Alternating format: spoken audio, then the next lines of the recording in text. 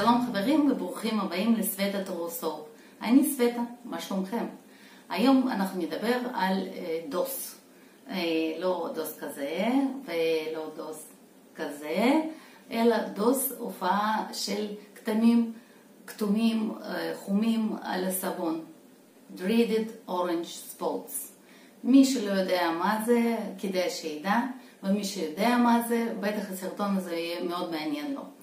אה, בחלק הראשון של הסרטון אני אספר על הכימיה של סבון, על התופעה עצמה, איך היא נוצרת מבחינה כימית. אנחנו נדבר על איך לשלוט בתופעה, איך להקטין את האפשרות של סבון לפתח דוס או למנוע אותה לגמרי, ואיך לשלוט בעצם בתופעה הלא נעימה הזאת.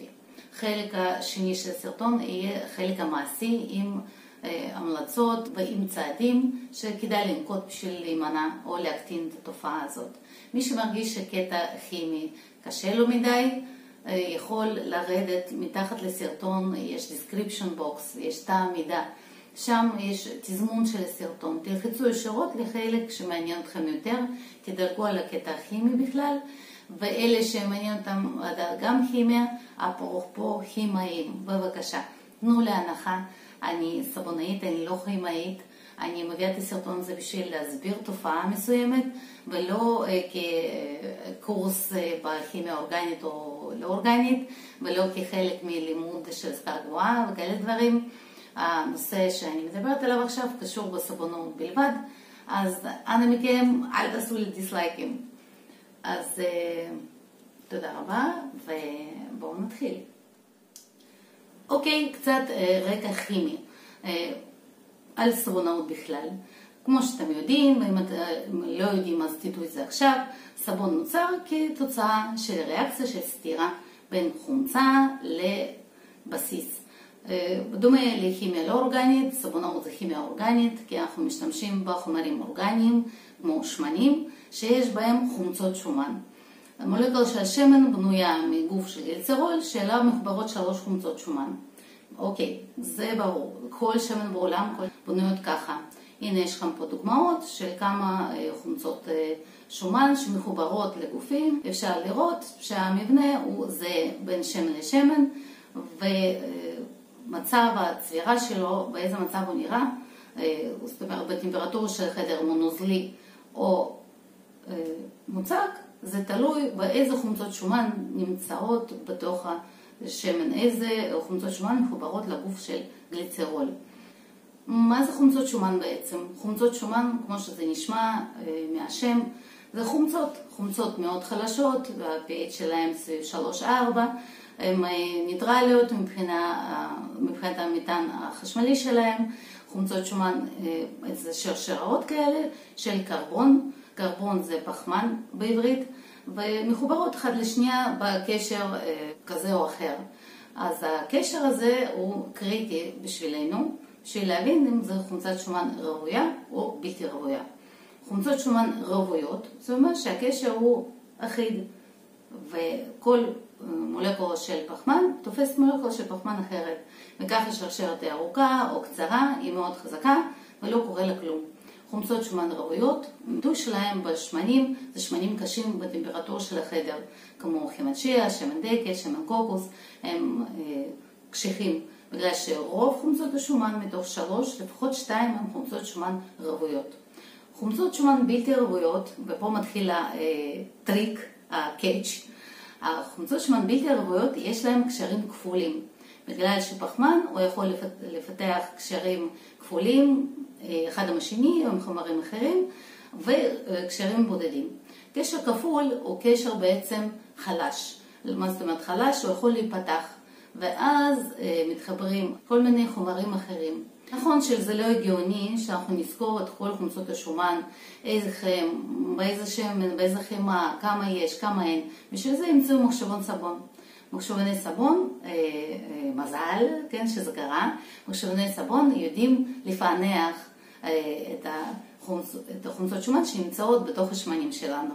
למשל, אני משתמשת במושלון סבון סורטקלק, אתם יכולים לראות שיש פה רשימה של שמונה חומצות שומן. מתוכם ארבע ראשונות חומצות שומן רוויות, ארבע הבאות בלתי רוויות. ככה כשאתם בונים איזשהו מתכון, בצד ימין למטה בטבלאות, אתם יכולים לראות, שוב פעם בסופ קלק, אתם יכולים לקבל את הפענוח של חומצות שומן שיש בתוך הסבון. אוקיי, אז חומצות שומן רוויות לאוריק, סטאריק, מליסטיק ופלמיטיק. בחומצות שומן בלתי רוויות זה אולאית, רצינולאית, לינולאיק ולינולניק. שמות ארוכים. ולא סתם, השרשרות גם כן מאוד ארוכות. למה יש מושג כזה, חומצת שומן בלתי רוויה? זה אומר שבמקום של קשר כפול יכול להתחבר משהו, ואז כביכול המולקולה תהיה רוויה. אוקיי, מתוך ארבע חומצות שומן רוויות שיש לנו בשומן סבון, ואנחנו יכולים לראות אותן, שתיים הראשונות הן חד בלתי רוויות. זאת אומרת שיש בהן רק קשר כפול אחד. שתיים הבאות, האחרונות, הן רב בלתי רוויות. זאת אומרת, יש להן יותר מקשר כפול אחד בשרשרת. אז אם אתם יודעים מה זה, שמעתם פעם על המושג אומגה, אומגה 3, אומגה 6, אומגה 9, זה בא מכאן. הקשר הבלתי רווי נקרא אומגה, ואם זה במקום השלישי בשרשרת בין הקשרים זה 3, אם זה 6 זה 6, ואם זה 9 זה 9, וזה מאוד טוב ומאוד בריא לאוכל, ותכף תבינו שזה פחות בריא לסבונים. ולמה? למה זה בכלל קשור לדוס, ל-dreaded orange spots, איך זה קשור? אוקיי, כמו שאתם מבינים, הקשר כפול זה, חלק, זה החלק החלש בשרשרת. בחלק הזה, בדרך כלל גם השרשרת, היא מתקפלת בתלת מימד, יש מין קיפול כזה של השרשרת. הקשר הזה הוא הותקף על ידי רדיקלים חופשיים שיש לנו בסביבה, כמו חמצן שיש אותו חופשי באוויר, כמו מים שיש לנו לחות בסביבה, כמו כל מיני דברים אחרים, הקשרים פשוט נפתחים ויש אוקסיגנציה, מה שנקרא התחמצנות של החומצות האלה, וזה מתבטא אם זה בשמן עצמו, השמן נהיה מקולקל, יש לו ריח רע, ובסבון ריח רע לפעמים לא מופיע, אבל אנחנו נראה את הכתמים הכתומים האלה, וזה לא לכלוך. וזה לא תמצית ריח, וזה לא איזושהי תוספת של איזשהם פרחים של קמומיל, או קלנדולה או משהו כזה, זה כתמים, כמו פה בתמונה, שמופיעים עם הזמן. בתמונה יש לכם סבון של שמן זית, סבון שאני הכנתי, 100% שמן זית, זה סבון בין שלוש שנים. בערך בשנה האחרונה התחילו להופיע עליו הכתמים האלה. מנקודות קטנות, הכתמים האלה מתפשטים מנים גדולים יותר. הסבון לא מריח רע במקום הזה. הסבון מקציב ומתנהג רגיל, אבל זה קטע אסתטי מאוד מאוד לא נעים וחמור. אז איפה יש לנו הרבה חומצות שומן רב בלתי רוויות, או polyunsaturated fatty acids, יש אותם הרבה בשמנים האקסקלוסיביים, בשמנים היקרים, בשמנים הנדירים, יש אותם בשמן המפ ובשמן אבוקדו, יש אותם יותר, כן, החומצות שומן האלה. יש באובלי פיחה למשל, או ענבים, או בשמנים כאלה. אחרי כל ה anti promotion לחומצות שומן האלה שעשיתי, חשוב לציין שחומצות שומן האלה טובות וחיוניות בסבונאות. גם בגלל שיש להם תפקיד ב-CMC, מה שנקרא, שהם מורידים את critical micelle concentration, זאת אומרת הסבון נוח לעבודה. אנחנו חייבים שמנים נוזליים במתכון, אחרת אנחנו לא נוכל לעבוד איתו. ונגיד סבונים שיש בהם חומצות שומן בלתי רוויות, יחד עם חומצת שומן לאורית, הם ידועים כבעלי קצף עדין והם עדינים יותר, הם מעלים רמת conditioning של סבון, הם נותנים לסבון את התחושה של luxurious, של, של נעימות היתרה הזאת של ספא. זה שמנים גם כן שהם בדרך כלל זמינים בחנויות, כמו שמן חמניות, שמן קנולה, שמן סויה אפילו, ושמן זית כמובן. למרות שבשמן זית חומצת שומן עולית היא שתי חומצות מתוך שלוש, ואחת הפלמיתית. אבל זה שמנים שהם בדרך כלל טבעוניים, זמינים וזולים. אז מבחינת עלות תועלת, אנחנו גם רוצים להשתמש בהם יותר בסבונים שלנו. אז כמו שאתם זוכרים, בחד בלתי ראויות יש את הרצינולית ואולית.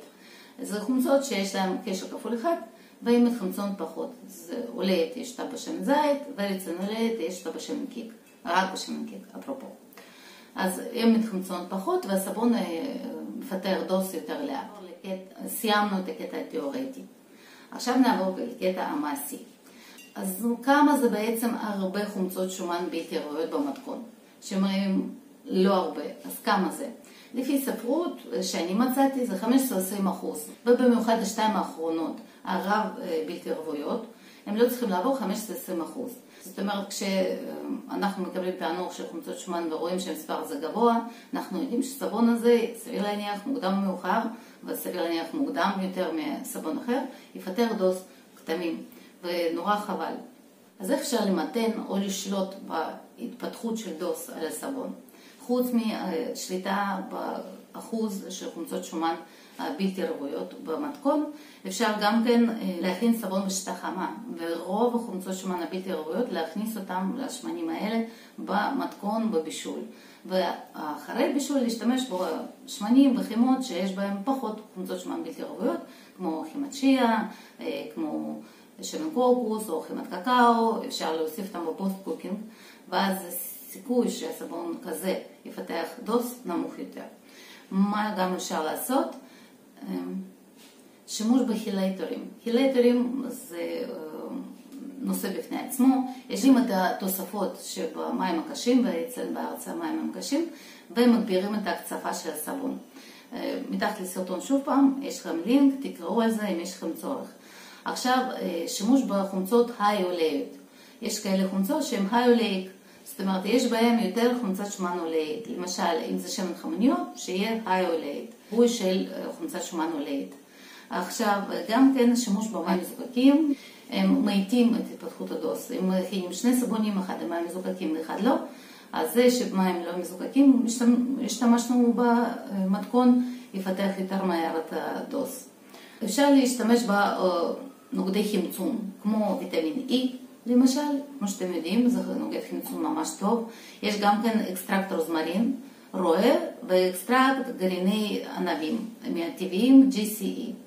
אפשר להוסיף אותם למתכון בין חצי אחוז לאחוז, ורואים שיש האטה בהתפתחות הדוס. שמנים וחימות, מומלץ לשמור אותם לא במקום חם. כי במקום חם, כשיש חשיפה לטמפרטורה גבוהה, גם סבונים אפרופו, המולקולות זזות יותר מהר.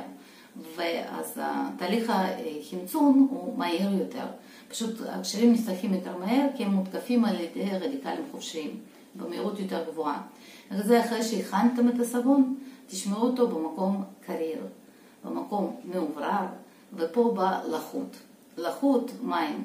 מים זה דבר נהדר, אנחנו מאוד אוהבים לחות. הלחות של 80% אין כמוה. עכשיו בסבונים שהם נמצאים בלחות גבוהה, דוס מתפתחים יותר מהר. מים, כן, פותחים את הקשרים יותר מהר וזה פשוט קורה וחבל. מה שגם כן, שמירה של סבונים וגם שמנים במקום ללא מגע אור ישיר.